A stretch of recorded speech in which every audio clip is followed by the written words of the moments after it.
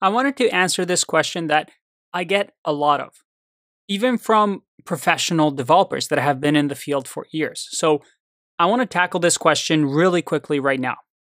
Why are there so many programming languages? Why can't we just have one language that does everything and everybody's happy and we don't have to worry about learning so many programming languages?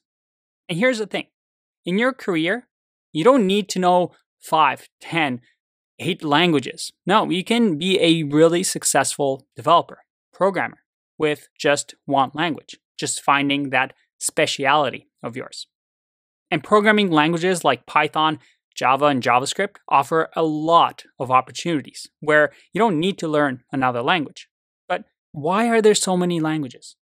If we go to Wikipedia, these are the list of programming languages. And if you're looking through here, you should be intimidated because there's no way in your lifetime you're going to learn all of these. And, well, you won't. Most likely, you're going to learn one, two, maybe three languages in your entire lifespan or career as a programmer. And different programming languages are good for different things, just like we have different tools to, let's say, build a house. You can't just build a house with a hammer, you need different tools that are good at different things to assemble what you want. So it's impossible to build one ultimate language when we have so many applications, so many mobile phones, so many computers, so many devices like cameras. So you have low level languages that we've talked about, like assembly code or C. And then we have higher level languages like Python and JavaScript.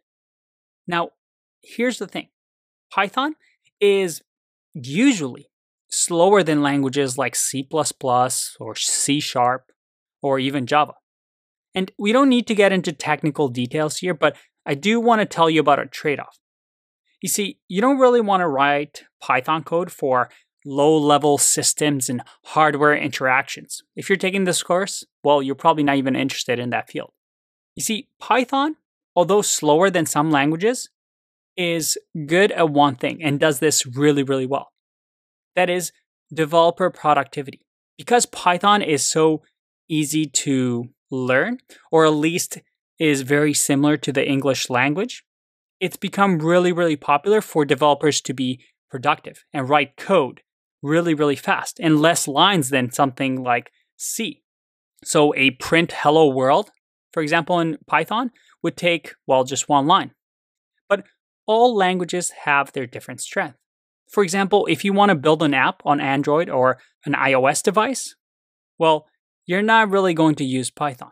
But if you want to do machine learning, maybe you want to build a web server, maybe you want to do data visualizations, build scripts that process thousands of Excel files. Well, in that case, you're going to use Python.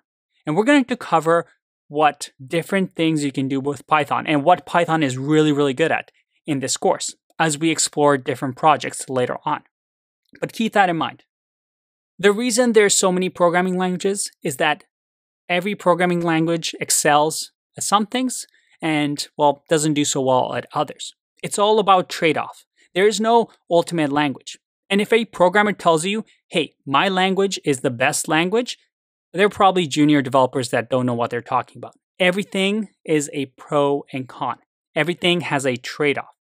And as programmers, what really good senior programmers do is being able to detect what these pros and cons are and what tool to use for a specific problem. Something that throughout this course, I'm going to try and teach. I'll see you in the next one.